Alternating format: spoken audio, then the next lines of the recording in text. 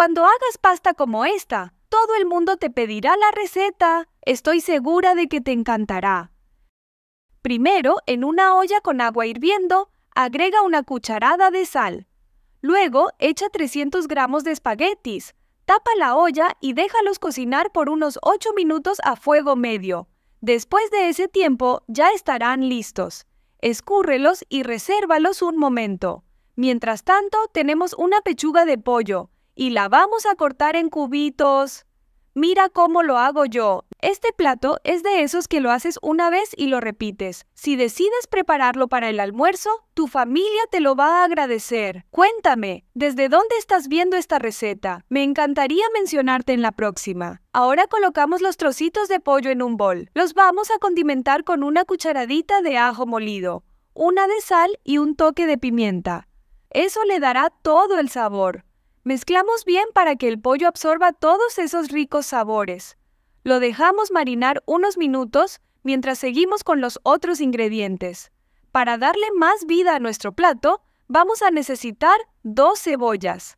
Las cortamos por la mitad y luego en tiras finas como ves que lo hago.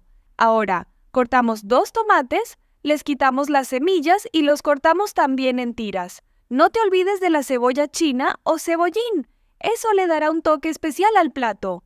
Corta los tallos y resérvalo todo por un momento. Con todo listo, Ponemos un chorro de aceite en una sartén grande. Dejamos que el aceite se caliente bien y cuando esté listo, añadimos los trozos de pollo que hemos marinado. Escucha ese sonido. Es señal de que el pollo se está sellando y dorando perfectamente. Mientras se cocina, quiero aprovechar para enviar un saludo especial a Rocío Reyes de Perú, Domitila Pulido de Bolivia, Melia Espinosa Minaya de Venezuela y a Janet Gómez de Ecuador. Gracias por seguirnos siempre y por apoyar nuestras recetas facilitas. Una vez que el pollo esté bien dorado, añadimos las tiras de cebolla y las sofreímos por dos minutos. Si te gusta experimentar, aquí puedes agregarle brócoli ya cocido.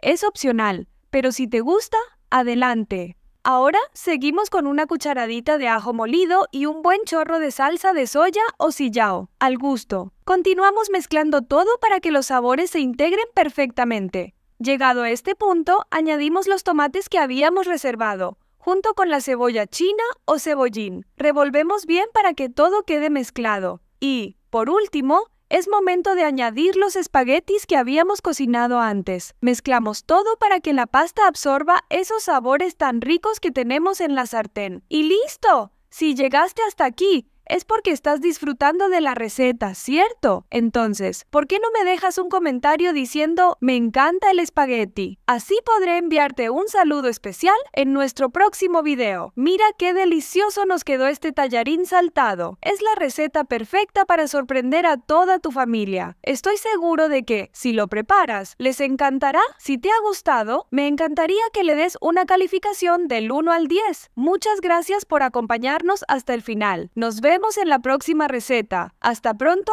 y bendiciones.